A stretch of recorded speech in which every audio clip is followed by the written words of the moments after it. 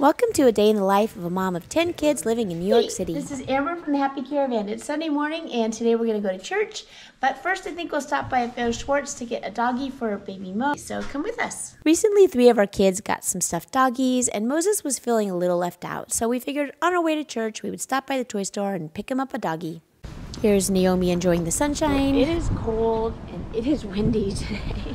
Even though it's March, it's supposed to be spring, but New York's kind of like that. Like it'll be spring and then, oh no, just kidding. It's not spring now. It's winter again. Brr.